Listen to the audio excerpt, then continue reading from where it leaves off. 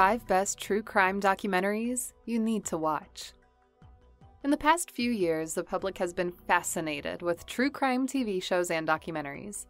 From shows like American Crime Story to Making a Murderer, viewers couldn't seem to get enough of the thrill and excitement felt in watching these riveting stories of unsolved murders, wrongful convictions, and everything in between.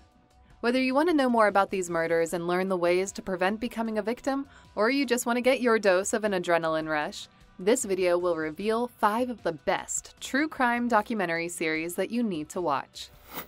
Number 5. The Jinx The Life and Deaths of Robert Durst. Lauded as one of the perfect examples of the true crime genre, The Jinx is a six part series that delves deep into the case of Robert Durst, a brilliant yet obviously troubled millionaire who was suspected of murdering three people his wife, a friend, and a former neighbor. His vast fortune and prestige apparently enabled him to escape justice over and over again, until he made the wrong move. Nobody tells the whole truth. In the hope to tell his side of the story, Durst, the son of a real estate mogul, sought out to collaborate with show producer Andrew Jarecki to create the series. It all ended up with a jaw dropping revelation that nearly broke the internet.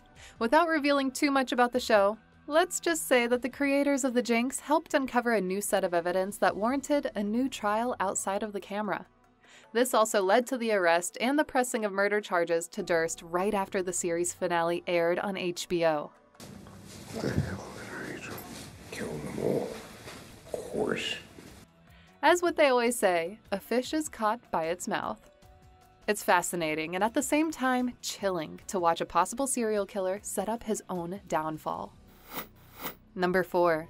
Evil Genius. The true story of America's most diabolical bank heist.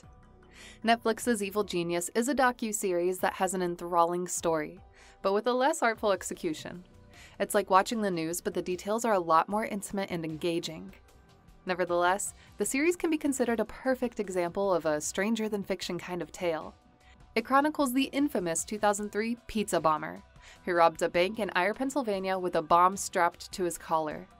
It's kind of bizarre, such that the bomber claimed that he was only forced to do so. Trials of evidences lead to a certain Marjorie Diehl Armstrong, the titular evil genius who, aside from the case at hand, was also accused of murdering a number of her boyfriends and husbands through the years. I did nothing. But Diehl Armstrong is just the tip of the iceberg. As the series progresses, viewers will get to know more and more potential culprits involved in various heinous crimes. Number 3. The Staircase. Let's go back to 2005 and rediscover this true crime docu-series by French filmmaker Jean-Xavier de Lestrade. The series, which is often acclaimed as one of the best representatives of the genre, provides viewers a closer look into the North Carolina author Michael Peterson, who was the primary suspect in the killing of his wife, Kathleen, in 2001. Durham 911, where's your emergency? Oh, 1810 Cedar Street, please. What's wrong? My wife had an accident. She's still breathing. Dark and provocative, the show attempts to humanize a man accused of committing such a horrifying crime. Truth is of no meaning whatsoever. It also provides the viewers a perspective on how the country's criminal justice system works. Watching it, you'd most likely be convinced that the man has been railroaded by the system. The Staircase took off more than a decade ago with eight episodes. It was soon followed in 2011 with a couple more installments until Netflix, which currently streams the entirety of the documentary, added three new episodes. The latest slate of episodes examines the judicial proceedings that occurred in 2016 against Peterson. Number 2. The Keepers. Riveting and at the same time emotionally draining is Netflix's 2017 true crime series offering The Keepers.